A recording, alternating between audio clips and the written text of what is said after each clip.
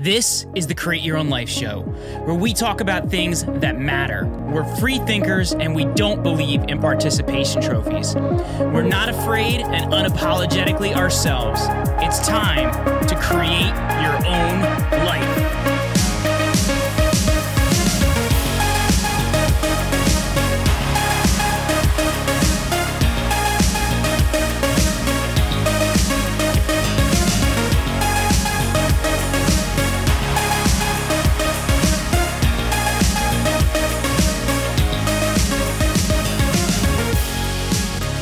Hey, what is up, everybody? Jeremy here. It is Tuesday. It is the 5th of April, 2022, and this is your Create Your Own Life show. Hope you guys had a great weekend. Uh, I hope you guys um, are really going into this week ready to perform, ready to rock. And uh, we have our first health and fitness episode in a very long time. Uh, which interestingly enough, I feel like kind of uh, coincides with me kind of getting my strength back. I know on the on the bench the other day I was putting up uh, 305 for a good solid three. We just didn't quite get that fourth one. I failed there. And on deadlifts, I actually got 500 up recently as well. So um, I've been really paying attention to taking better care of my body and listening to my body a lot, which I think is great. I'm definitely not pulling the weights I was in my, my mid 20s when I was benching 455, deadlifting uh, 635, and squatting 705. Um, but I'm getting a lot out of you know my body at you know almost 35, and um, about 25 to 30 pounds lighter as well. As I'm, I'm about 165 pounds. So in this episode, we actually have with us today Douglas Bertram, and he is the CEO and founder of Structural Elements. And the thing I'm really excited about in this episode is we get we talk a lot about connecting tissue, you know, the, the things that you need to know in your joints and, and issues like that. We talk about the, the proper way to get maximum performance in your body from your body and actually how Chinese medicine connects with traditional medicine and to really change the way you recover, change the way your body powers itself. And uh, there is so much to learn in this episode about biohacking your body the right way uh, and and recovering even better, and, and at the same time preventing a lot of those future injuries as well. You guys are going to love this interview with Doug. I got a ton out of it, and I hope you guys do as well. Before we jump into this interview, though, I just want to quickly thank a couple companies that made this possible. To our friends over at My Pillow, who right now are offering you up to 66% off of select products if you use my promo code, which is CYOL over at mypillow.com. Um, also, shout out to our friends over at Audible, who right now are offering you a free audiobook download and a free month of their service. Right now, I'm reading The Great Reset by Glenn Beck. Uh, I actually just wrapped that one up, and I've reached out to to Glenn's uh, co-author on that because I want to try and get him on the show because Glenn's timing just didn't work. But I really want to discuss this a little broader on the show, so still working on that. So if you want to get that book or any other book for free, courtesy of Audible, just head over to jeremyryanslate.com/book. That is jeremyryanslate.com slash book. Also, if you have not yet subscribed to the show on YouTube or Rumble, be sure to do that. We're also doing shorts on YouTube now, so you're going to see that over there as well. And we're really focusing on growing the channel, and make a bigger impact. So please check us out, share us with your friends. If you haven't checked out the audio version of the podcast, it's over on Apple Podcasts, Spotify, wherever else you listen. While you're over there, leave us a five star rating and a review, as that does help us to really grow the show and, and make a big impact. All right, Without further ado, let's get into this interview with Douglas Bertram.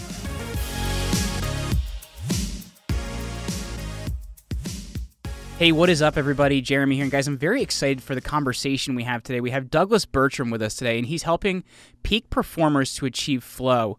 He is the founder and CEO of Structural Elements and has 27 years of clinical experience treating patients with his proprietary combination of Chinese medicine and manual therapy. He's an educator, public speaker, and entrepreneur. His education includes a BA in contemplative psychology, a minor in traditional and Eastern arts, um, and he is really doing some incredible things about how they're addressing the body and health. Doug, thank you so much for hanging out with me today, man. Yeah, it's my pleasure. Thanks so I, I, I want to find out for you first and foremost. You know, you've been in this sphere a long time. You've been helping people with their health for a long time. But you know, what got you interested, or or what made you feel like this was your mission, man? Yeah. Um, so you know, it's kind of interesting. Uh, I, I, have been standing over a table for 27 years, And uh, people used to not believe that, which was always kind of flattering. And after uh, you know scaling businesses and having kids and all of that, now people are starting to not question that as much as they used to. Um, but honestly, it, it, comes down to one really simple event in my life that got me on this track. Um, I lived to play soccer as a kid, and uh, I was a I was a goalkeeper most of most of my life. And uh, um, I broke my wrist uh, really badly when I was a freshman in high school and I had a really negative experience with the orthopedic surgeon. He he kind of told me I should consider myself lucky that he saved my fingers, but don't expect a lot of use out of that hand. Oh my god! And uh, we had and, a really negative know, experience like, myself. You know, my my dad broke his arm like ten years ago now, and the orthopedic surgeon that we went to like didn't like handle it correctly, so his arm is still at a funky angle, which has been really weird for golf. So like, yeah, I get it, man. Yeah, absolutely. And you know, for a kid that lives to play goalkeeper, that's it's not something you want to hear at the age of 14.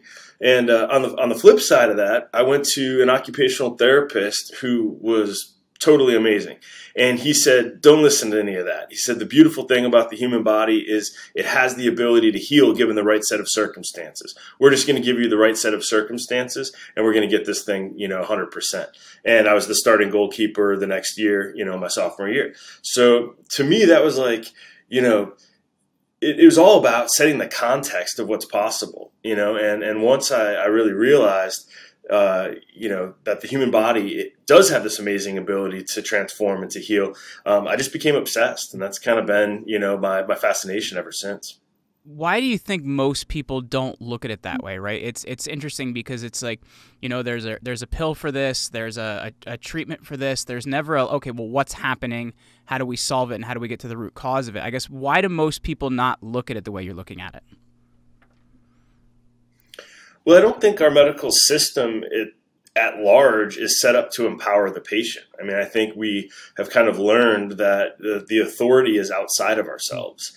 And unless we're lucky enough to come in contact with a practitioner that educates us differently, um, I think a lot of people live in that paradigm. You know that they they don't listen to their bodies, they don't trust the the, the wisdom of their intuition, and they don't realize that you can actually control how the body responds to stress, how the body responds to injury by not only the things that you put in your body, but by you know freeing up those resources uh, to, to, to heal fast. Well, I, I, guess one of the things you and I were talking about uh, before we started recording here is is the, the thing that nobody thinks of and something that you said is vital. And, and and you know being somebody that's been a competitive athlete for you know in the fitness world for a long time like I get that too.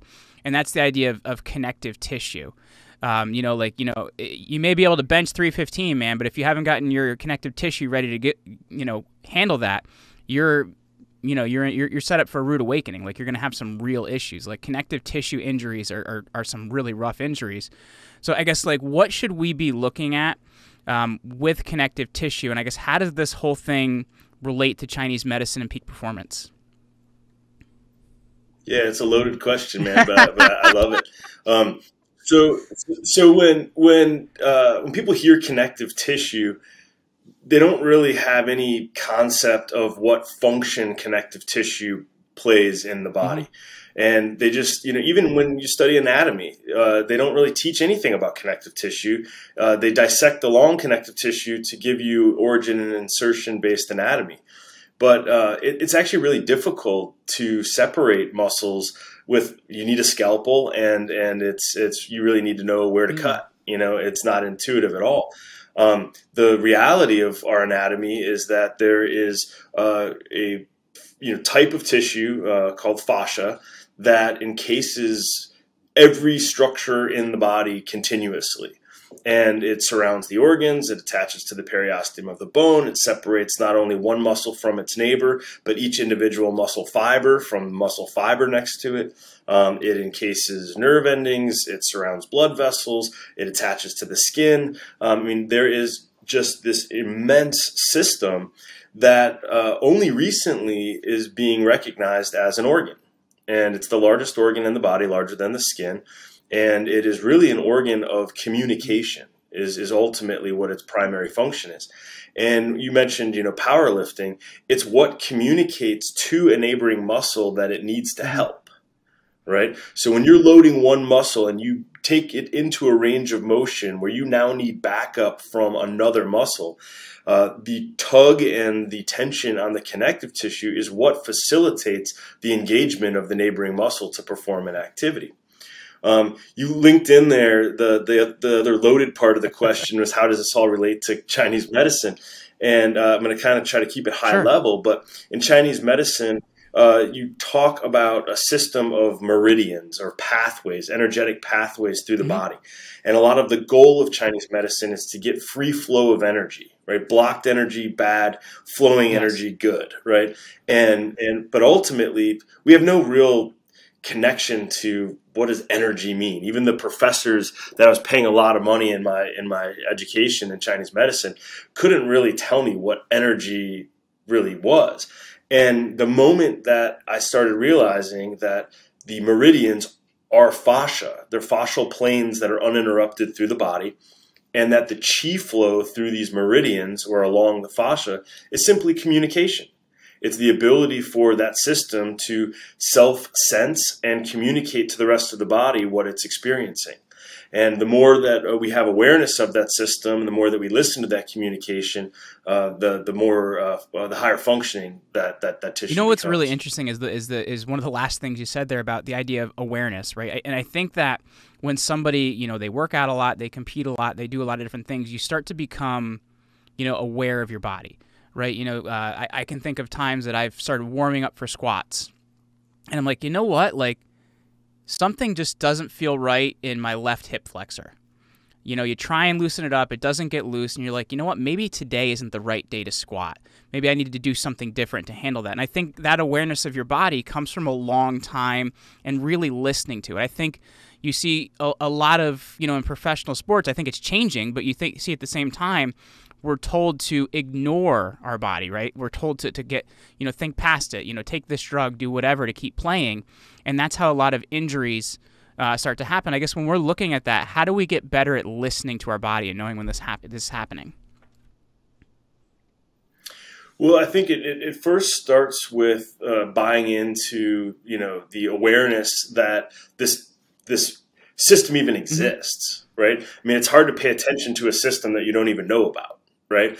Once you realize that that the fascia is completely um, necessary to allow for one muscle to glide past its neighbor, and that there's a, a property to healthy fascia that's called viscoelasticity. It's the ability for tissue to deform and return back to its original shape.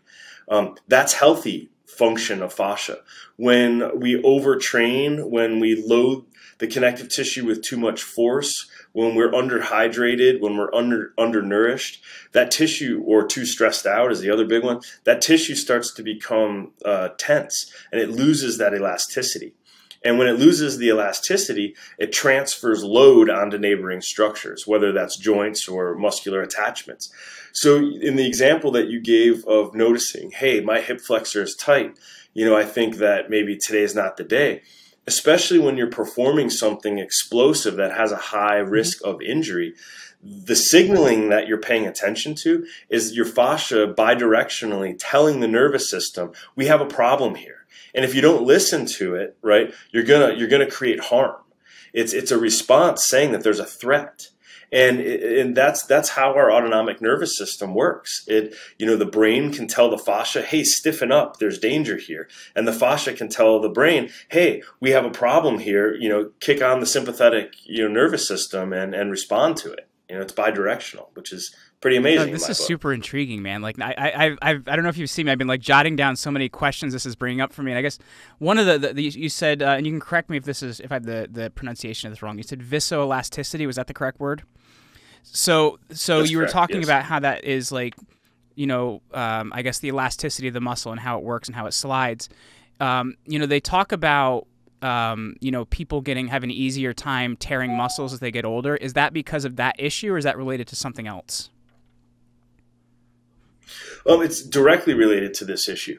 Um, so the healthy connective tissue is made up of collagen mm-hmm. fibrils, and those fibrils form these little um, triangular matrices, and those triangular matrices are full of fluid called hyaluronic acid. Mm-hmm. And healthy tissue allows kind of this spongy, elastic, you know, uh, response. When we again get dehydrated, when we overtrain, when we do the same uh, activity over and over again without without uh, variation, um, we collapse those fluid filled vacuoles. And instead of having, think of like bubble yeah. wrap. If you if you pop all of the bubbles in the bubble wrap, now all of a sudden, if you pull it tight, you're going to have you know all of those little cells coming much closer together. And as those collagen fibrils align and get closer to each other without the fluid in between them, they form what's called a focal adhesion. And those focal adhesions stiffen, and you lose that elastic property. And they form to protect us against stress, right? Um, they form in, in, response to stress. However, it, it also holds us in uh, a state where we're getting a lot of signaling back to the nervous system saying we're we're not okay. There's there's you know there's threat here. So can we reverse that? Because I know for myself, like one of the one of the big things I, I when I was 19, so we're talking like gosh, almost 20 years ago now. But I tore my ACL, PCL, and meniscus. Um, like I shredded my knee playing football. And um, one of the things that I supplemented with at the time was like 100% liquid collagen, and I found that like my recovery was a lot better because of that. Um, I'm I'm curious. Um, is you, we talk about you know this elasticity disappearing over time. You talked about those uh, those areas kind of hardening due to stress, due to use, due to age. Um, is there anything we can do about that? Like, is it supplementing with collagen? Is it how we're training? Is it how we're stretching? Is there anything we can do to preserve that, or is that just once it's gone, it's gone? No, there's there, there's a ton that we can do, and and, and it's never too late. Um, the beautiful thing is if you're still above ground and you're still breathing, um, you're still building new cells and you're still you know, re- replacing mm-hmm. tissue. Mm-hmm. So um, we absolutely can introduce resources to to change that. Um, you know, the work that we do in our clinics is is really about finding what we call systematic focal adhesions that have formed, and um, kind of what our secret sauce is at Structural Elements is that we've mapped out uh, where these things form in a, in a numerical grid. So if you have, uh, you know, say you shredded your knee, like your example, you're going to have areas above and below the knee that are going to have compensated yep. Uh, in response to pain and change of gait and and compensation but it's not going to be limited to your knee.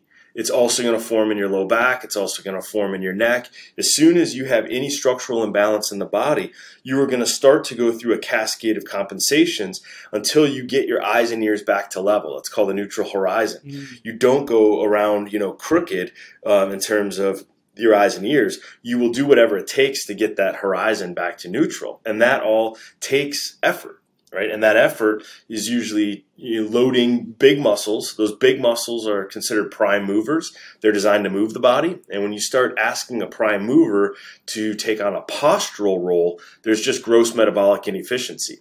So it's going to lay down those collagen fibers. It's going to glue muscles together for mechanical advantage. So that's that's kind of how those things show up in the in the in the first place. But to correct them, it's kind of an undoing of that process, right? We use dry needling to address some of those focal adhesions. That's a very effective tool. Um, the difference between how we dry needle and a lot of what's out there is we're not trying to hit a motor point to cause the muscle to contract and for a relaxation response. We actually create what we call a mechanical coupling where we spin the needle and we wrap the collagen fibers around the shaft of the needle. If you think of a fork and a plate of spaghetti, that's kind of a good image for those collagen fibers wrapping around the shaft of the needle.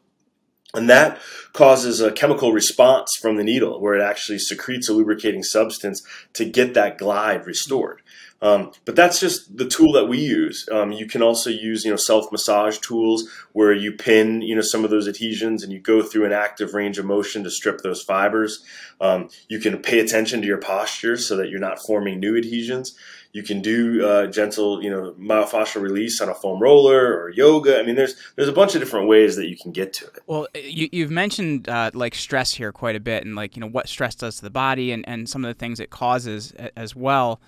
Um, you know, how can you know stress is never going away, right? We're dealing with it every day, and I, and I think for for some people, you look at the last two years, man, like stress has been like a you know on a scale of one to ten, it's been like a twenty five for a lot of people.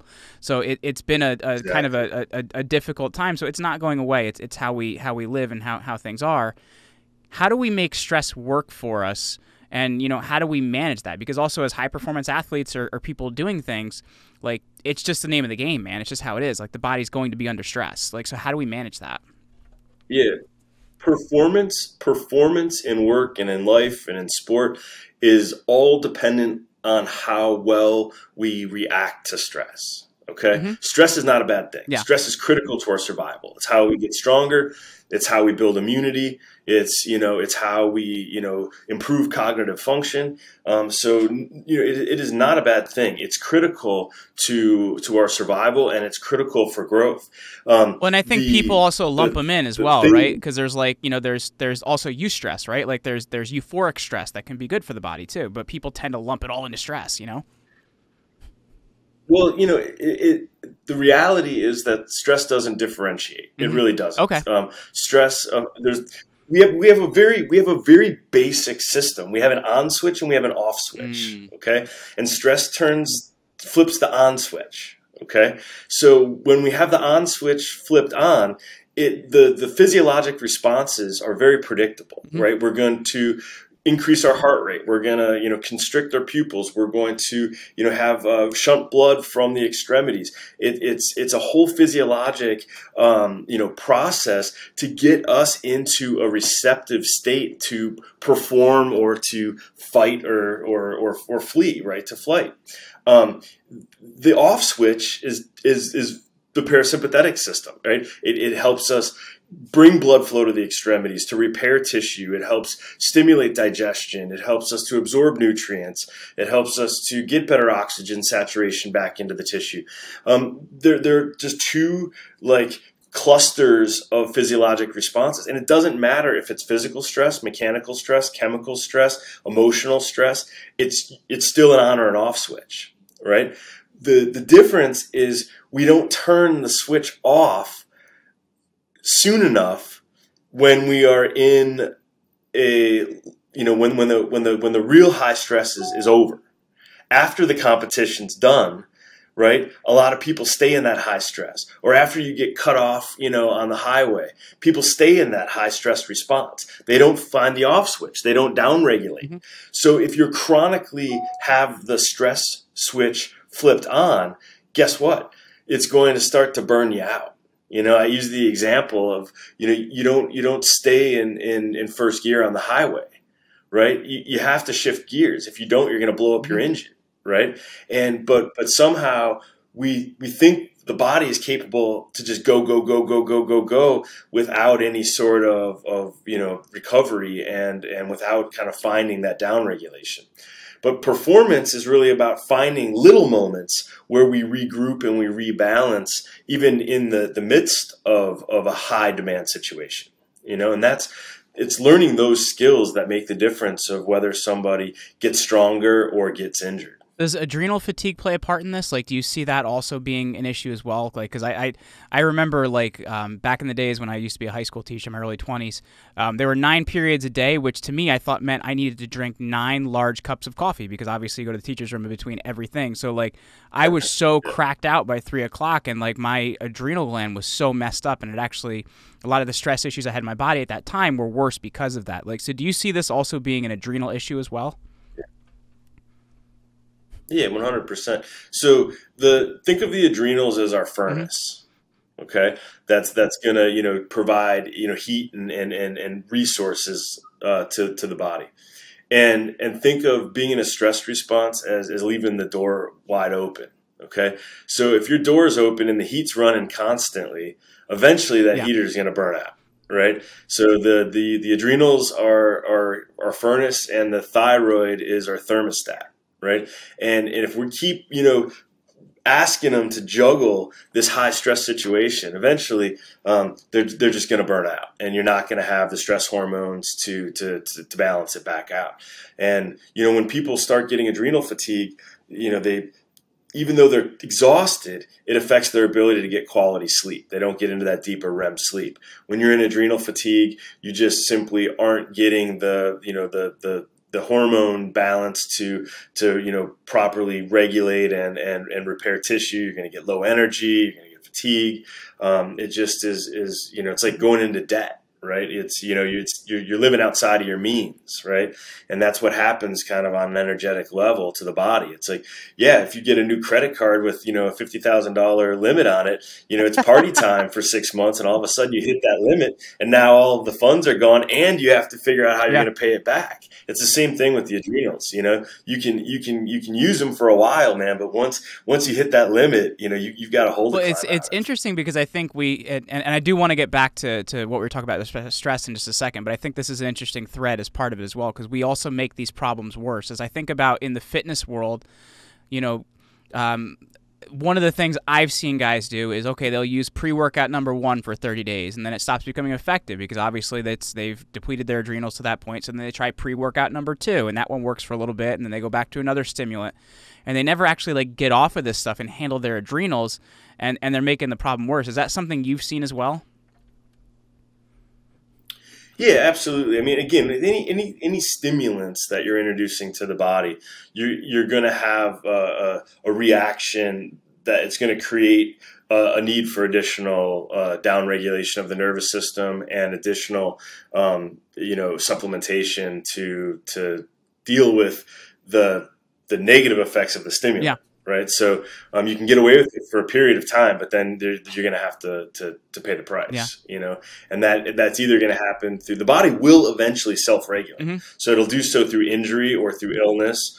Um, you know, or or just uh, uh, an energy crash, yeah. right? So eventually, the body will just say, "No, we're not gonna we're not gonna give you that response anymore." There, there was a, a product that came out, gosh, like maybe 15 years ago now, and, and the, the the main stimulant in it is actually banned by the FDA now, so they don't sell it. But it was called at that point in time it was Jack 3D, and the the, the stimulant was 1,3 dimethylamylamine, and you would use it. And you'd have this like out of body workout experience, and then you'd sleep for 17 hours after it. Like I just can't imagine that being good for you. Yeah, right. But you know, going back to you know yeah. this, these these ideas of you know kind of downshifting a little bit, taking care of the body. Like, sure, adrenals are part of it, but I guess what other things should we consistently be doing so that we're, we're giving our body this relaxation? We're giving this body our body this ability to, to kind of downshift from the stress. Yeah well first thing is is recognizing what it feels like to be in a stress state the first thing is the awareness that we are in a stress state. Um, shallow breathing is one of the symptoms. Um, having uh, you know tightness in the muscles, clenching of the jaw, tightness of the hip flexors, cold hands and feet, um, you know restlessness when it's time to to, to try and and, and relax um, and and fall asleep. Those are all symptoms that are saying, hey, we're we're like spun up a little bit and, and something needs to change.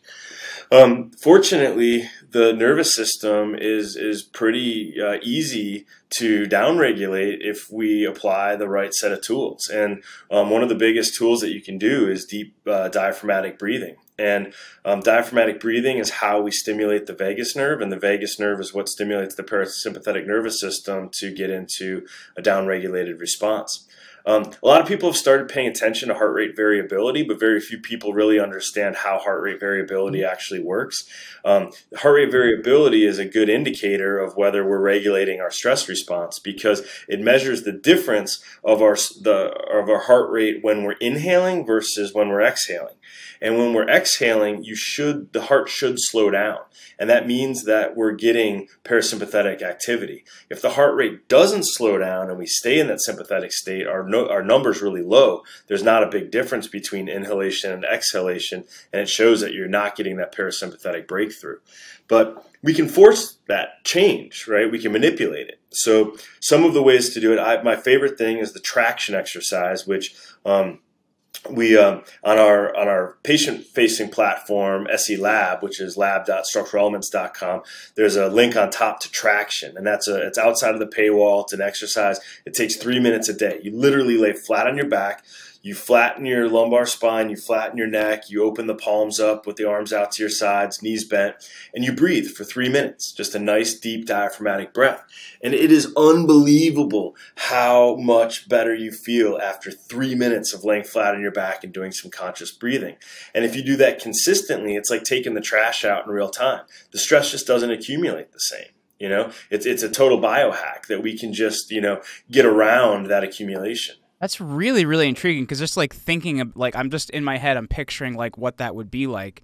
Um, and and times that I've done that, you you do feel you know the stress the the the the load and things like that come off your spine because like if you think about it like our spine is always loaded and very few people unload it right? So so what you're talking about here like not only are you allowing the body to reset you're also unloading your spine which is a really big deal.